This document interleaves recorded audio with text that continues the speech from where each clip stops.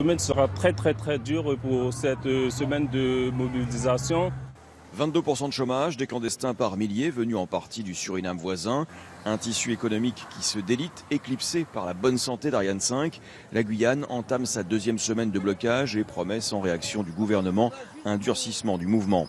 Outre l'économie, en rien comparable à celle de la métropole, l'insécurité est aussi une des revendications phares des Guyanais, portées notamment par le mouvement des 500 frères.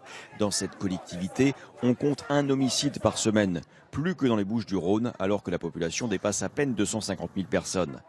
La Guyane demeure la région française la plus dynamique en termes de croissance démographique, mais les jeunes peinent à voir leur avenir sur le territoire. Le précédent mouvement social de cette ampleur, entamé fin 2008, n'avait pas donné lieu à des mesures fortes. La population dénonce toujours le manque d'investissement économique de l'État, mais aussi de véritables plans de développement de la santé et de l'éducation.